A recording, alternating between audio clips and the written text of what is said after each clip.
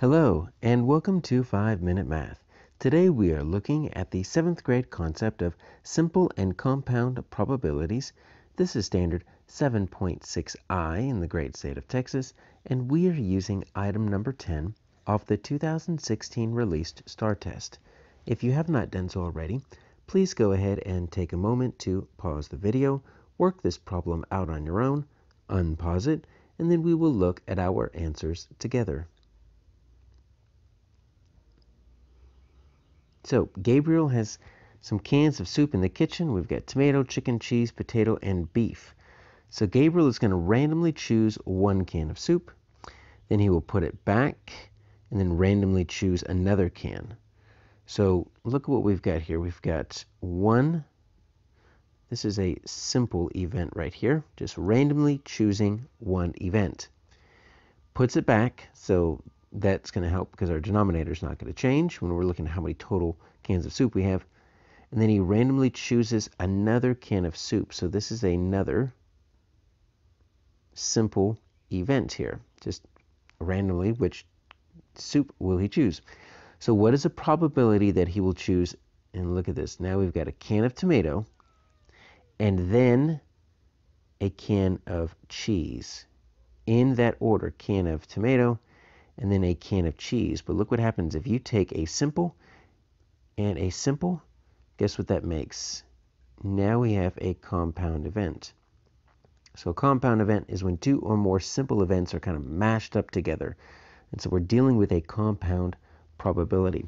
So we need to find simple probabilities first, and then we'll figure out how we can turn those simple probabilities into a compound probability. So if I were just to draw a picture here, so I'm just going to put my, here's my tomatoes, uh, chicken, I'm going to put CK, CK, and then CK. I've got two cans of cheese, put CS for those. Uh, and then two cans of potato, that's a P, it's a P, and then one can of beef is a B.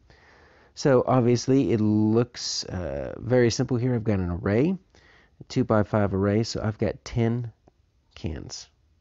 And that's where it's going to become very important that after we randomly choose a can, we're going to um, put it back so our uh, our denominator or our total does not change. So let's look at our first simple event.